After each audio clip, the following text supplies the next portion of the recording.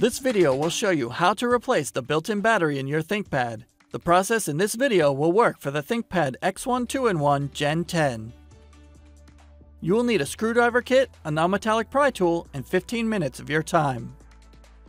Caution! To avoid damaging your device with electrostatic discharge, work on a hard flat surface. Use an anti-static wrist strap and mat, or discharge static by touching a grounded piece of metal. Caution!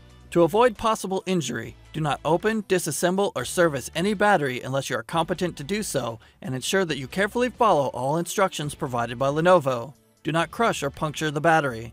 Do not short circuit the battery or expose it to water or other liquids. Keep the battery away from children and animals. Keep the battery away from fire. First, you must disable your built-in battery before removing any parts. Make sure to disconnect your power adapter from the computer. Press the power button. Tap the F1 key repeatedly to enter the setup menu. Select the config menu. Select the power menu option. Select the Disable Built-in Battery menu option. Select Yes in the confirmation box. The system will shut down and the battery is disabled. Loosen the four captive screws on the bottom of the system. The captive screws do not come out of the base cover assembly. Do not try to remove them. Starting at the hinges, use a non-metallic pry tool to unclip the cover and remove the cover from the system. Loosen six captive screws on the built-in battery.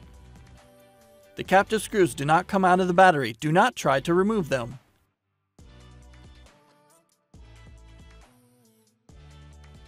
Carefully lift the battery to release the connector from the system board and remove the battery from the system. Important! Do not put the battery in trash that is disposed of in landfills. Do not dispose of your battery with your household waste. Comply with local ordinances or regulations when disposing of the battery. For recycling information, go to lenovo.com/recycling.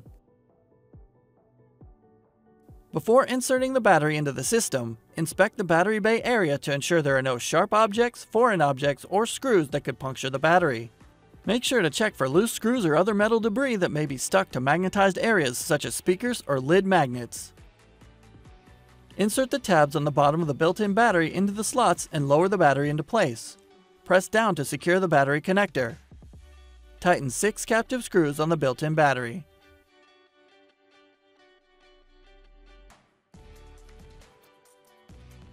Place the cover onto the chassis, inserting the edge opposite the hinges first, and press down around the edges to secure the clips.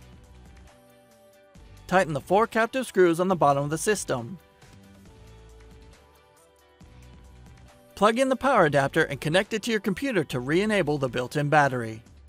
To learn more about your device, go to pcsupport.lenovo.com.